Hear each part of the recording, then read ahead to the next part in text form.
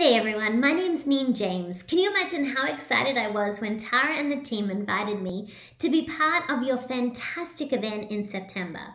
In our time together, we're going to explore how on earth do we stay focused and pay attention with everything that's happening around us.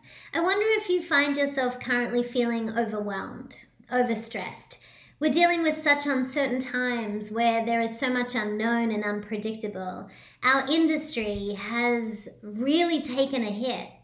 So, how do we focus on what matters most right now? Well, you know what? That's what we're going to explore together.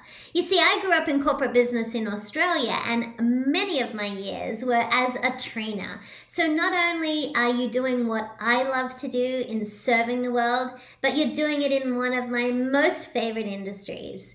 In our time together, we're going to keep it practical with things you can apply immediately. But I thought, let's start our conversation early. What's your biggest challenges when it comes to really focusing and paying attention to what matters? I would love to hear from you.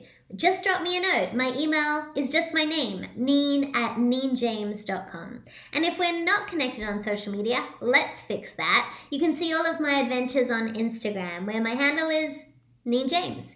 I am really excited to be serving you all in September, but let's start our conversation early. And I'll see you soon.